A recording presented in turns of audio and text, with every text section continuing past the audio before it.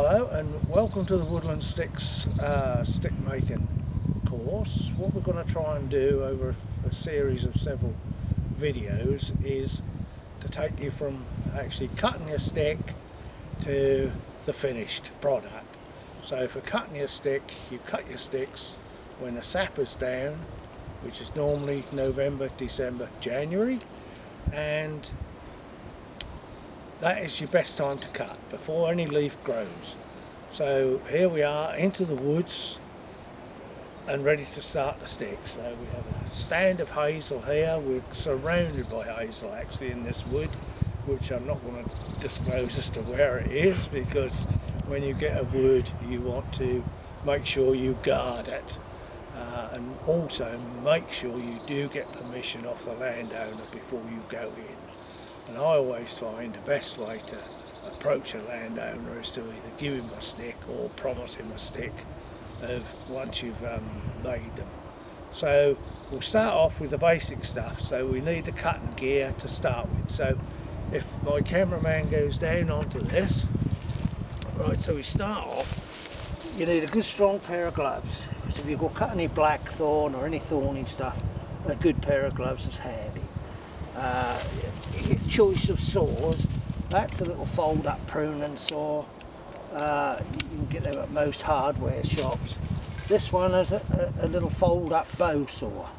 Their often a favourite tool is the, the loppers. I find they're very good. One good cut and you're through and it's a lot quicker than messing about with a, a little saw. The other necessity is your secateurs trimming off any side bits. A good strong pair of gloves if you're cutting blackthorn, anything in that sort of line. It's always better to have a pair of good solid gloves with you. Okay, so here we go now. We'll make a start at doing a bit of cut. These are the things you must look for when you're cutting. And when you're new at the uh, stick cutting game, it's very difficult to cut a stick that when they when you've cut they season for a year and they shrink and it's surprising how much a stick will shrink. So always cut slightly on the larger side than you think you're going to need. Uh, the obvious thing is round about an inch on the thick end going down to about three quarter you want a good taper. A taper on a stick gives it balance once you put a head on. So this is your ideal type of stick here. So you've got a nice thick base to it. And don't forget, when it's cut, you turn it upside down where the head will actually go onto this end. And that will be where the ferrule goes on at the bottom. So if you're lucky, we've got a good, good inch or so there. And we've got a lovely taper. Now that is an ideal stick. There's no side pieces, there's nothing. It's a beautiful clean stick. So I'll cut him off. So I'll go down to about this depth. So with these loppers, quite easy. Now we look for a length. Uh, the ideal length, you're looking for around about four foot six. But what I always say is cut it longer. So I should be cutting it about here, which is about five foot six. So I cut the top off. Like so and there is a perfect stick. Don't worry about the straightness, that will come after it's been seasoned and done. But if you look at that end, how, th how thin it is compared to that end. So that they will become that way up. Once it's seasoned, that is your stick. And that is a beautiful stick.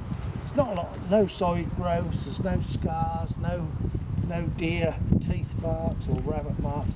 It's just a beautiful stick once seasoned, straightened, that'll be a cracker, a real cracker.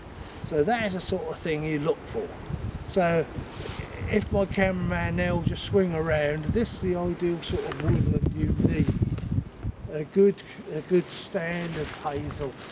You always find your best stuff in amongst this type of thing, rather than a, a, a stool that has been coppiced recently.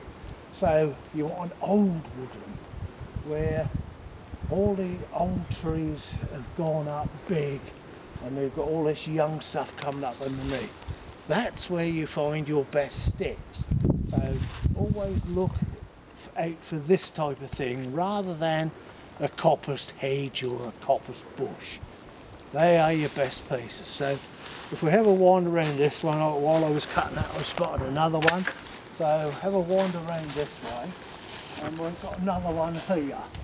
So if my cameraman can follow me around here, I'll have a look at this one. This is on the same stool again. See, comes right at the bottom, beautiful stick. It's got a little scar in there, I've just noticed, it's a rub. You can see that, but often you do need a thinner stick. So looking at that, it's got a nice taper, beautiful colour. So where I'm going to go is just above the, the piece because I don't really want a good scab on it. Uh, again, looking for something around about five foot and I'll just cut the, cut the top off. And again, once I've trimmed them side bits off, a beautiful stick. So don't worry about the straightness, that'll all come in on a later DVD that we're going to work on.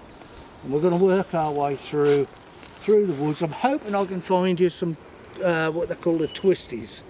Uh, they are very prized. A lot of people do love them. It's where the honeysuckle is wound its way around the stick and it bites in and contorts the stick. So hopefully we can find find one of them and just show you what how to find them and what to look for. So we'll switch off for now and we'll have a little wander and we'll see what else we can come up with. Right, see you in a little while. This is the sort of area we're looking for with the twisties. If you look, you can see the honeysuckle growing up into these bushes here, or into the hazel. Uh, see a bits of green coming on. It's one of the first things to put on any green in, in the uh, woodland in the spring. So there you can see we've got the honeysuckle growing all up onto these bushes. So now we just cast our eye in, we look right up high. Often it will twist up high, will twist down low. So it's a matter of just getting your eye in and looking to see if there's anything twisted. Um, so what we've got here is the panning on this one here. It's got a slight twist into it at the top. Now if we look at that, uh, we've got a natural thumbstick, which is an easy stick to to make. It's just a matter of straightening it, seasoning it, straighten it up, uh, a, a, a, little bit of sandpaper, and you've got yourself a stick. So we'll, I'll cut that down. You don't really know what you've got till it's actually landed and you've got the honeysuckle off it, but from here it looks as if it could be quite a good stick. So I'll go in now and try and take it off. And I say I'm looking more at that top. So I'm having a guess now on the leg. So again I'm looking for something around about the five foot length. So nothing down here, no no bad bits nothing on it. So just trying to get in with the loppers. So best tool if you can get in and get a hold of it. Once you've got it, that's it. That's yours. So anyway,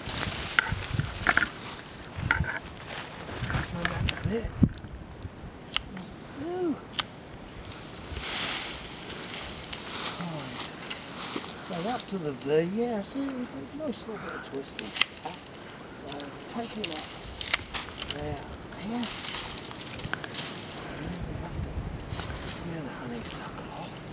Try not to do too much damage to the honeysuckle. Because that's, uh, that's your future you're thinking of and don't damage it too much that'll go up again and strangle something else so we just get this cleaned off loppers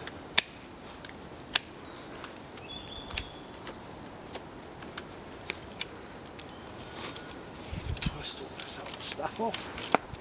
Um, and see we're starting to get a bit of a twist. That's not a terrific twist. As I say you never know what you've got till you actually got it in your hand and trimmed it up. But that is roughly what we're looking for is this honeysuckle twist. As I say it's not a brilliant one, but it's a good thumbstick. So that's another idea of what to look out for. Instead of just cutting straight shanks, hit out for that type of thing. Instant stick. Right, then we'll move on, we'll see if we can find any more. Hopefully we can find a better one.